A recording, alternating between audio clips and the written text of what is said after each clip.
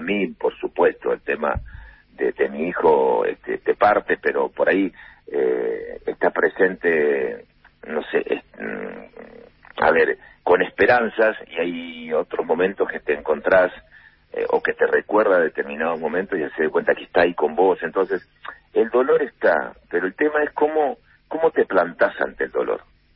Este, cómo te plantás ante el dolor. Suena cómo muy... te plantás cuando te quebrás.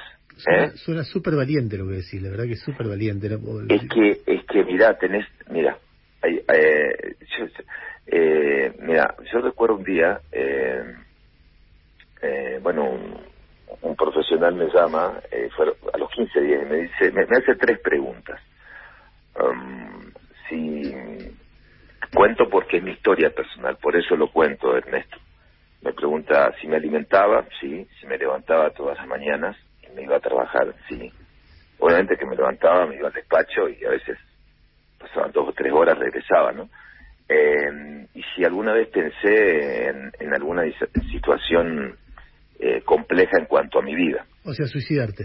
Exactamente. Y yo lo miré y no, no, no, jamás se me pasó por la cabeza. Pero con el tiempo también me di cuenta de la importancia de rodearse de tipos nobles, buena gente. Entonces, a ver, eh, esa buena gente tiene que ver con, con los que sienten eh, a ver, el abrazo sincero, el compartir. Eh, y, y, yo por eso te, te, te doy el caso de, de, de, Sebastiano de Capito, que son choferes que me acompañaron, mis amigos, este, la gente del despacho, eh, los, los, chicos de Formosa y de acá, que, que nada que ver con, con, con, con, con un ambiente, digamos, están en el ámbito laboral, pero nada que ver con, ni, ni con mi ambiente convencional.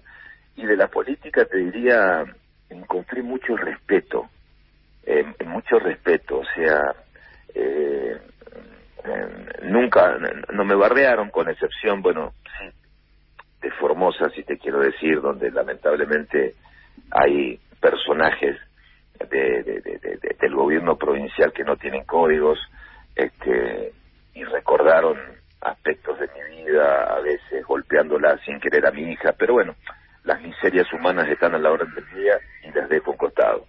Pero eh, te quiero decir, yo, yo, yo me quedo con eso. Entonces, mm, después de todo este quilombo, este torbellino de pandemia, eh, que a muchos con los encierros les llevó puestos familiares, eh, yo lo que te puedo decir es que siempre es bueno rodearse de afectos sinceros.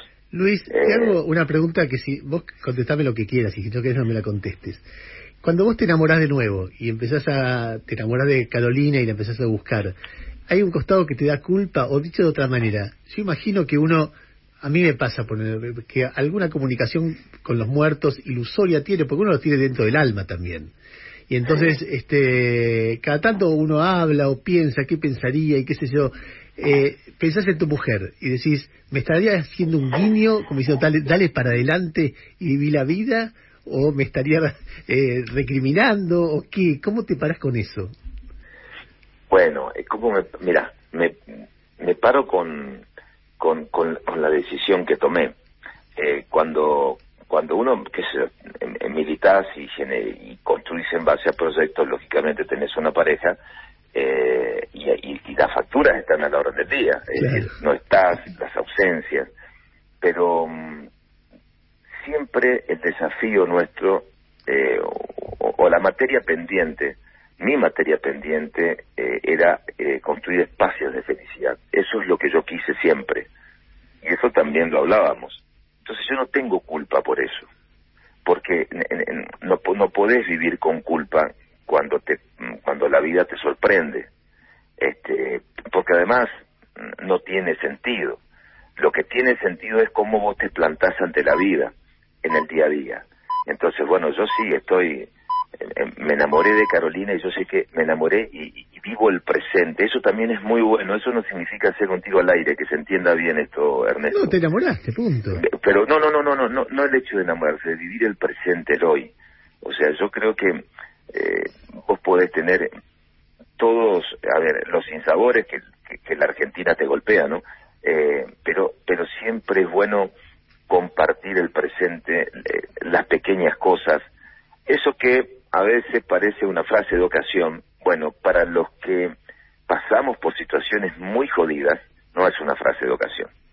Entonces yo me decía, ¿dónde estás plantado en la vida? Y yo estoy plantado en la vida, eh, a ver, yo quiero ser feliz, construyo un ámbito de felicidad, es lo que intentamos hacer con Carolina, este, no somos dos adolescentes, somos tipos que estamos bien plantados ante la vida, eh, eh, y a meterle para adelante. Después el resto, día a día, pero a meterle para adelante. Yo siempre soy, yo soy jugado, o sea, yo me juego.